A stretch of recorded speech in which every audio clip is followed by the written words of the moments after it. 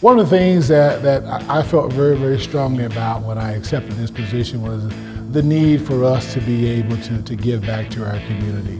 Uh, a lot of our programs have had a great deal of success and we've been able to, to draw people in and they've been able to come in, come out and support us.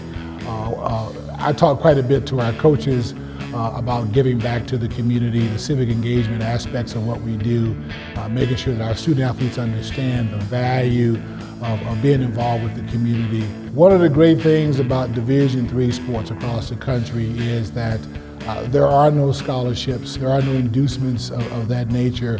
Uh, our student athletes and all the other Division three student athletes across the country compete uh, for the love of, of, of their particular sport.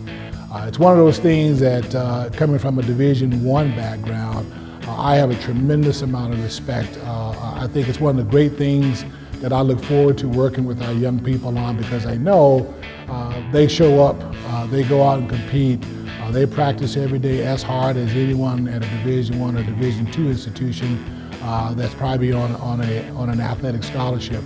Um, the Division Three philosophy has a healthy balance between academics and athletics, uh, and that's what makes us Division Three.